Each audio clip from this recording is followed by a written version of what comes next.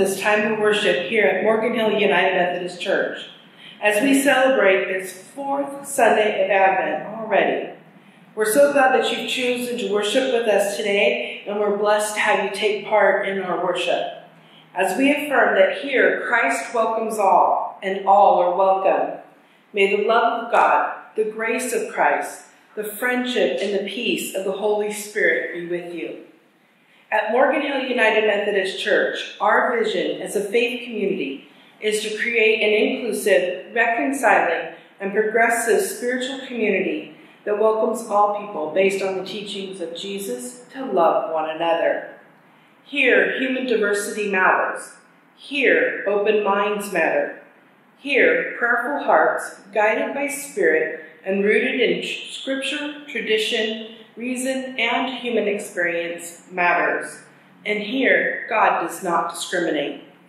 To help you follow our worship experience, you can click on the closed caption option at the bottom of your screen, and the words will appear to help you follow the worship service today.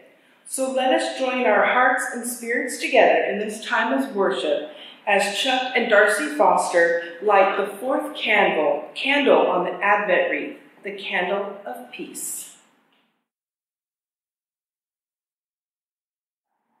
As we light the fourth candle of the Advent wreath, the candle of peace, we are reminded that we stand at the threshold between ordinary time and God's eternal time.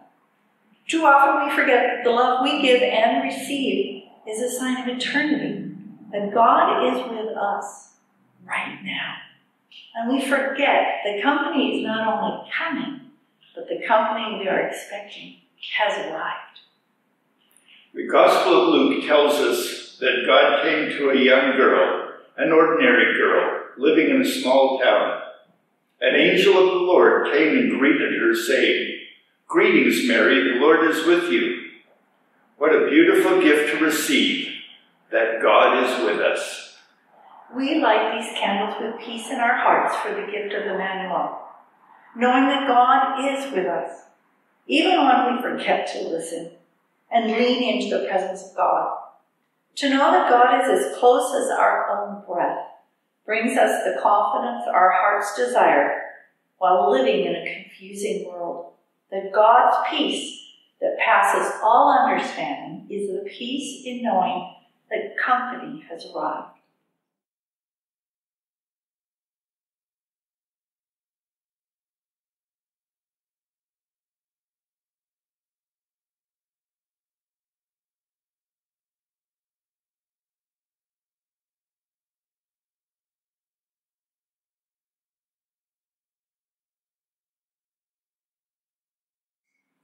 Please pray with me.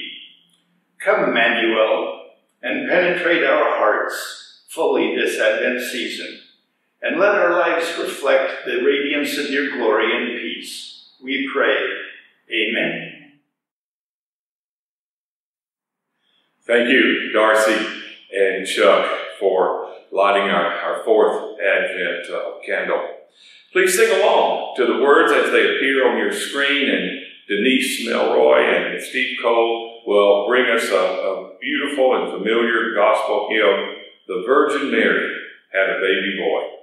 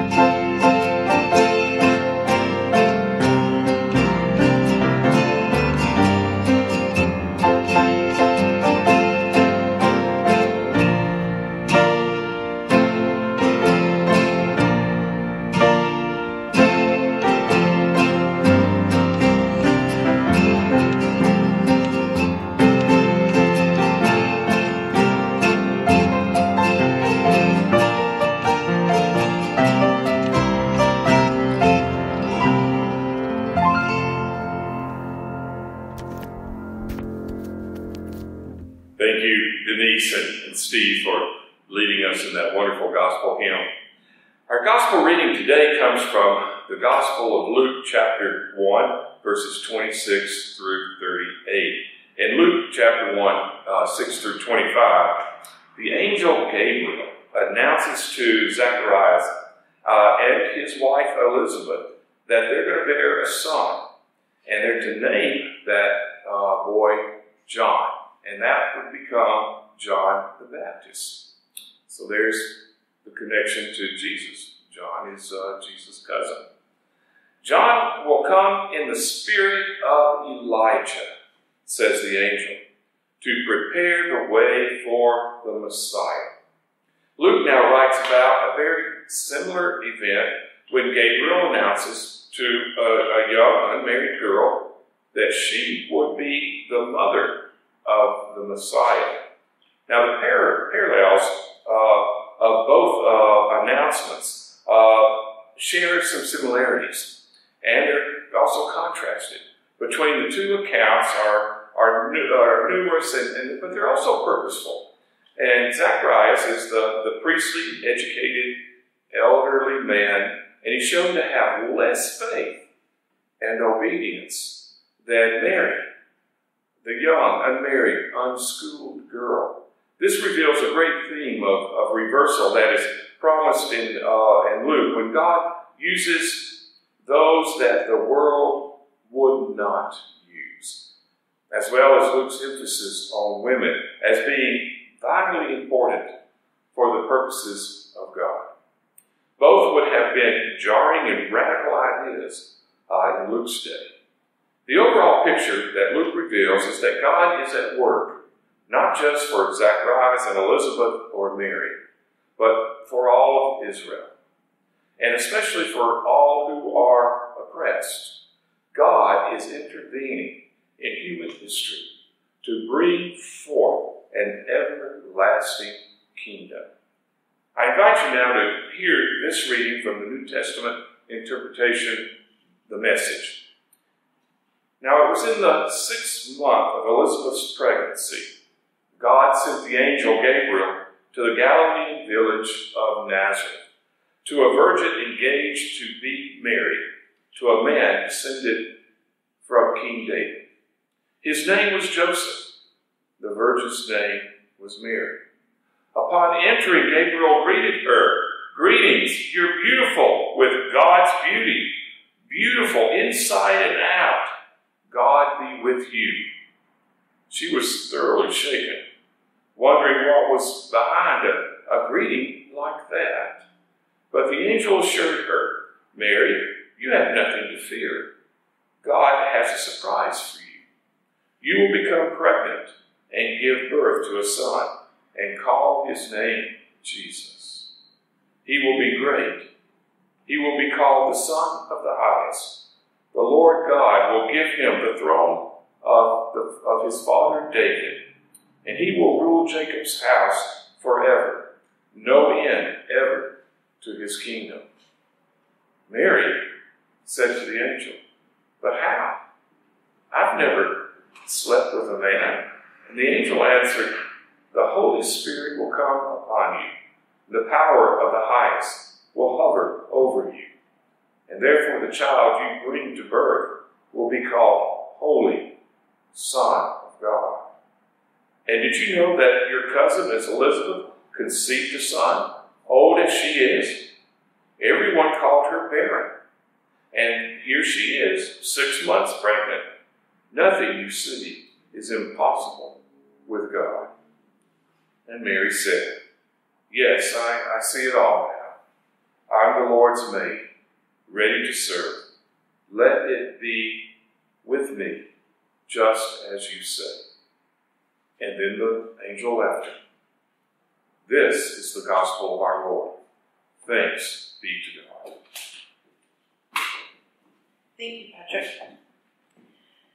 Where the Spirit of the Lord is, there is the one true church, whose faith we support with our prayers, our presence, our giving, our witness, and our service.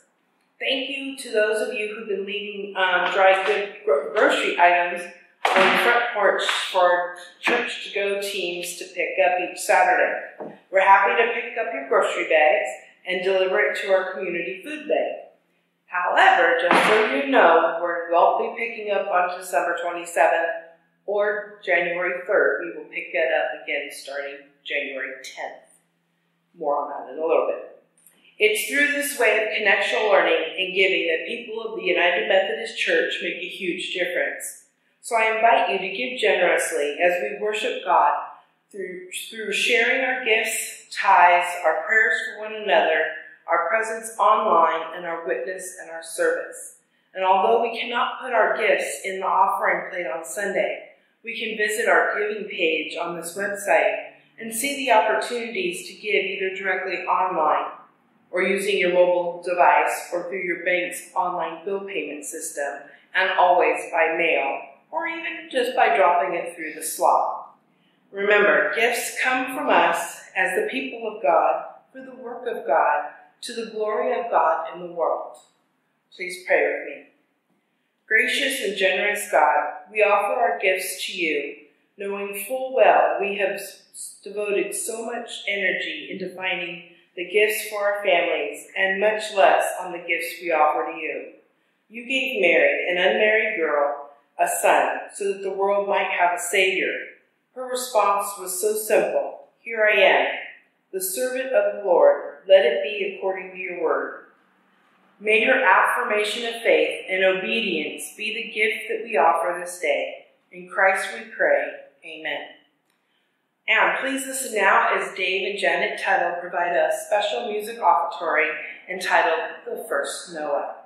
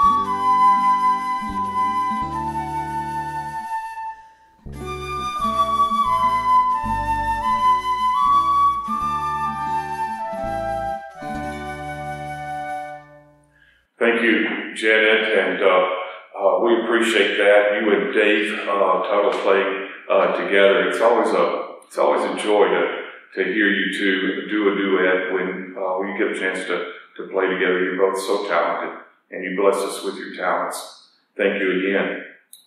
Always remember that nothing separates us from the love of God that's been shown to us in Christ Jesus. Please keep in your prayers for peace and comfort and strength and healing.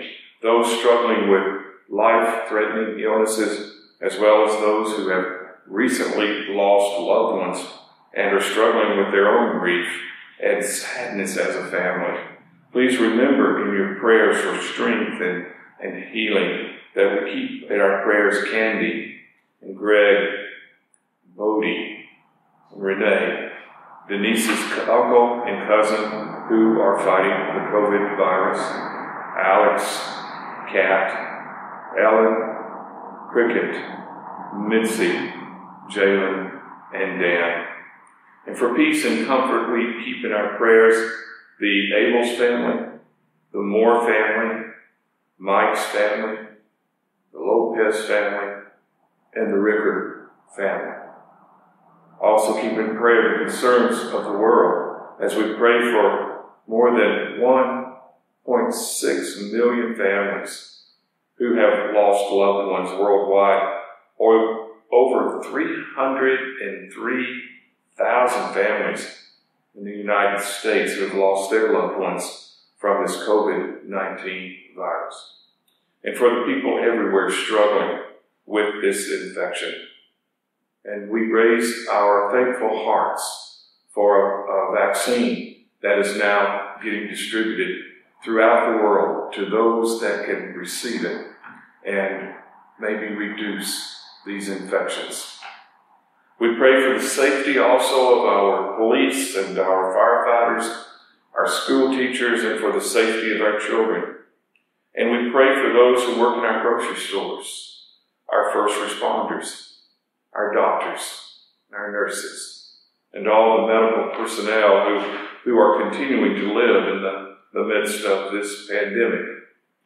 We give thanks to those brave people across the globe who signed up to be in the COVID 19 vaccine trials. And we pray that this is the, the beginning of, of getting that COVID under control. Please continue to email your prayer concerns to us here at the, at the church office so that I and our prayer team may keep your concerns in prayer this week. And for the prayers shared and those that remain in the silent places of our heart, we say to the Lord, Lord, in your mercy, hear our prayers. Please pray with me. Oh, come to us, abide with us, our Lord Emmanuel, God with us. You came to us long ago as a helpless babe, as one in need of human love and care. You taught us how to love and care for one another. Help us to hold on to childlike wonder, amazement, and love, and help us to love one another all year long. Guide our feet into the way of peace, as only the Prince of Peace can lead us, by lying down our lives for one another and serving one another. In the name of Christ, Emmanuel, God with us, we pray in the way that Jesus taught us to pray, saying, Our Father, who art in heaven, hallowed be thy name. Thy kingdom come, thy will be done, on earth as it is in heaven. Give us this day our daily bread. Forgive us our trespasses, as we forgive those who trespass against us. And lead us not into temptation, but deliver us from evil. For thine is the kingdom, and the power, and the glory forever. Amen.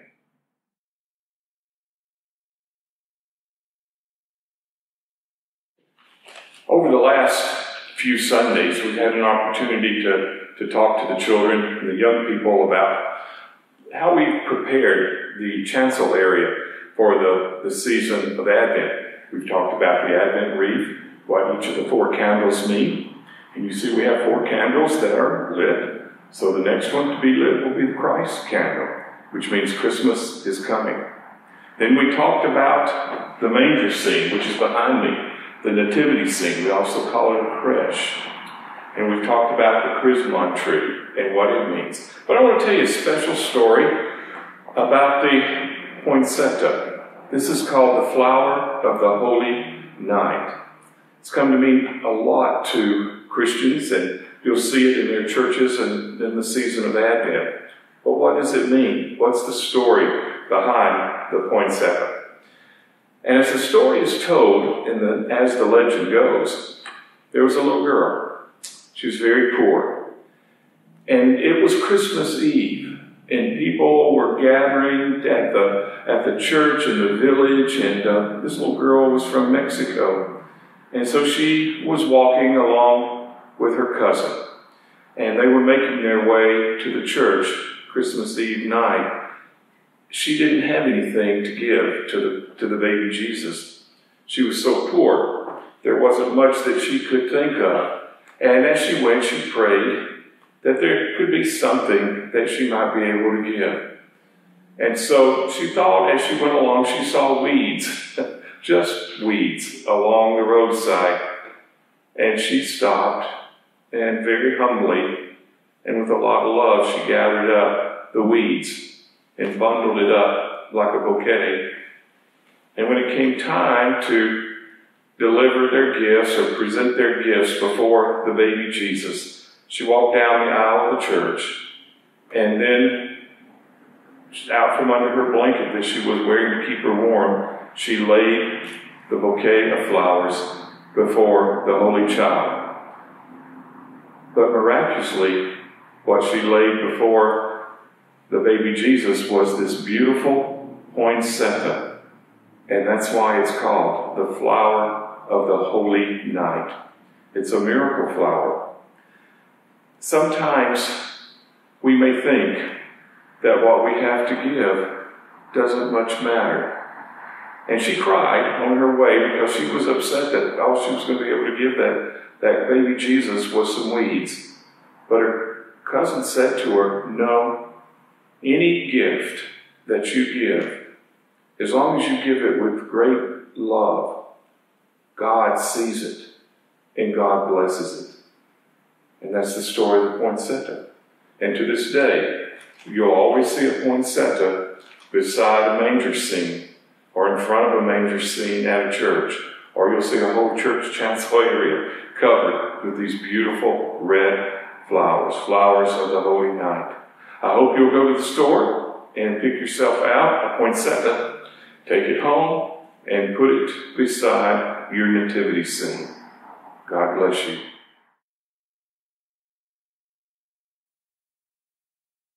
Here we are, now in the middle of this seven week sermon series. We haven't had one that long before. But we have talked about recognizing that this place is a mess and then we had to get our sleeves rolled up so we could start to work and be on those cleanup crews. And last week we finally got to deck the halls, a little thing, something to make something pretty. And this week, well, it's almost Christmas. We hit critical mass somewhere around this last week before the day itself. We run on overload or find a little bit of magic and have a miracle working to make it all come out the way we hope and pray that it will. Those seem to be our choices in this season, doesn't it? Overwhelmed or by the skin of our teeth? Or is it just me? I don't know. Why? Because it's Christmas. That's always the answer that we give when we when someone asks, which surely doesn't help. It's almost the same as your mom saying, because I told you so. Why do we do it then? Well, because remember, company's coming, and we want the house to look nice. Now, that may seem shallow, but it is what motivates us appearances. It's not supposed to sound shallow because there is something important going on there. In the desire to present a welcoming home, a home of joy and light, full of the sights and sounds and smells of the season, there is something profound being said about the nature of Christmas itself. Appearances. How would it look to someone this just kind of describes my house right, right now, but we're working on it. How would it look if someone showed up before you got everything spruced up? How would it look if they were found the boxes from the attic were not put away and the decorations were strewn across the floor and the kitchen's a mess because the kids asked to help you know, with the baking and the cat knocked over the ornaments or the dog knocked them off with their tail with abandon and temper started running short, and the strain beginning to show, and if you press replay on Jingle Bell Rock just one more time, I won't be responsible for my actions. How would that look? It's crazy, I'll tell you, because I'm living it. This was essentially the question that David asked in the second Samuel reading this week. He was relaxing in his La-Z-Boy throne watching the Philistines losing to the Amalekites in the fourth quarter, and he happens to glance out the window into the backyard, and he sees what God has been living in since he moved back from wherever it was that he got stolen to. And he thought, hmm, how does this look? Here I am, I'm living in my brand new house with the full finished basement, full baths on every floor, walk in closets and a three car garage. And there's God living in a pop up trailer in my backyard. Well, there's just something not right here. Or maybe it was his grumpy wife. And she told him that she didn't like the look of God's camper next to her rose bushes. Uh, and ever since God strung those lights up on the canopy, it started to look like a little trailer park out there. Now, how does it look to have me in here and God out there? Not good, was his conclusion. So David said, Well, we just got to build God a house. And Nathan, who runs messages back and forth to the camper in the back and into the palace, says, Good idea. Well, at least until he trundles out to the backyard and has a word with God. And God says, No. He says he's kind of partial to his pop up camper. He likes being able to go where the people are. He likes to be on the move and he doesn't want to be tied down with the maintenance worries that home ownership brings. He prefers to be able to run out in the front to head off the bad guy at the pass. And who's the one in the home building business anyway? Wasn't it I who led you home to the promised land? Wasn't it I who made it safe enough to build your tri level ranch style palace anyway? Well, I'm the one in the home establishing business, not you. In fact, you might even say that that's my main motivating factor in all this chosen people stuff in the first place. To make a home, a home for you and my people, and through you, make a home to the whole world. God says, Come home. That's the offer God makes to David. Come home. Come home to me. Home to your true self. Home to your true family. And that's what God is really talking about. Home. David is talking about building a house, and God wants to talk about finding a home. God built in all of us this desire for a home. And maybe at Christmas, this desire for home is just a little bit stronger, a little bit closer to the surface. And sometimes we have to move heaven and earth to get there. And it upsets our routines, and we still wonder on occasion whether it's all worth it. And yet we go, or they come, and we find a new place. God told David that David wasn't to build God a home. And then it was said in the verses that we had skipped over that David's son was going to do it. Then later, David and everyone thought that God was talking about Solomon because Solomon did indeed build the temple as a home for God. Well, at least that's what everyone thought God meant. Everyone but Luke. Luke reminds us that God had different ideas than the rest of us did. Solomon's temple was quite the structure, and God apparently liked it well enough, well, enough to visit, but it really never was God's home, or so it seems. Well, for one thing, it was always called Solomon's temple, not God's temple. No, God has a different son in mind when he said, Your son will build my home. God was thinking of the one Gabriel would call the Son of the Most High. That one would reign over the house of Jacob forever and his kingdom, and there would be no end. That's the son who would build God's home. No one quite got that then. David didn't understand what God meant. Solomon didn't really understand either. But he got the construction crew out anyway. No one knew what God really meant. No one but Mary. But then the indications are that Mary really didn't understand it either. Well, how could she? Just imagine this young unmarried, soon to be married girl gets a message from God, and the message is God's coming home. Oh, and he's taking up residence in you. I'm saying, excuse me? No, this nothing special backwoods teenager was going to be God's home for a few months. And talk about your troubling house guests. Feed on the furniture's nothing compared to this. Those who are mothers and have experienced the joy of pregnancy and birth know better than the rest of us the hard realities of this little event. Here, we are here a few days before Christmas talking about Mary and finding out that she's going to be pregnant. And then Wednesday night, she gives birth. Pretty amazing, really, but it's not real. She carried this load just like everyone else. She didn't get out of it. She still hurt and sweated and paced and groaned and struggled and wondered and worried. And then she gave birth in a barn because nobody was willing to give her a bed. Greetings, favored one. The Lord is with you. The Lord has a different idea of favoritism than we do. The Lord has a different idea of blessing than we do. Well, and the Lord has a different idea of home than we do. Come home, says the Lord to us at Christmas time. David wanted to build a house for God, the tallest hill in Jerusalem, where God could be removed and distant and overlook all the people who would have to go out of their way to give obedience to God. But God just wanted to build his home a little closer to the deep realities of living in this world so that we would be surprised by God where we live. God wanted to build his home where we sweat and labor, where we work and we play, where we laugh and cry, and where our hearts are lifted up and often broken and sometimes healed. David wanted God's home on a mountain, but God wanted his home in the womb of a virgin, in the feed box, behind an inn, in the little town of Bethlehem.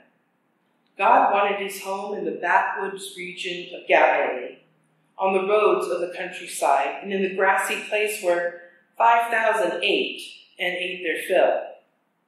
God wanted his home in the birthing units and wedding celebrations and the dinner parties. God wanted his home in the tear filled bedrooms and the sick beds and the graveyards of his children. God wanted his home in the courtrooms and prison cells, and then on the streets of sorrow of Jerusalem and the dark hill called Calvary. God wants his home in your home, in the living rooms and kitchens, the playrooms and bedrooms of your life. God, God calls to us at Christmas and says, Greetings, favored ones. I'm coming home, coming home for Christmas. Is there room for me in your crowded, busy lives? Is there room for me? And like any baby born in our midst, he says, I won't take up much room, just all that you have. Is there room for me? I'm coming home. And off to the side, almost out of our vision, an angel waits for our answer. Now it's time for celebrations. Uh, I would, we have three great birthdays all in a row. I would like to wish a very happy birthday to Adriana, whose birthday is December 23rd. And then the very next day, I would like to wish a very happy birthday to Jacob, whose birthday is on Christmas Eve. I remember when you were born. And our last one in our series, whose birthday is on Christmas Day, is Mary Lucian. I'd like to wish everyone a very happy birthday this year. If you have a celebration that you would like to have a shout out for, please email me at the office at office at mhumc.com. So receive this benediction. In all your Advent preparations, remain watchful with your eyes on Christ, whose birth is in a manger, but a promise of his coming again in glory. And may the blessing of God, Father, Son, and Holy Spirit be with you now and forever. Amen. Our closing hymn is Until Jesus Comes. Please sing the words, which hopefully you almost know by now, um, as they appear on your screen. The Lord is coming soon. Come, Lord, do not tarry. Amen. Come, Lord Jesus. Amen and amen.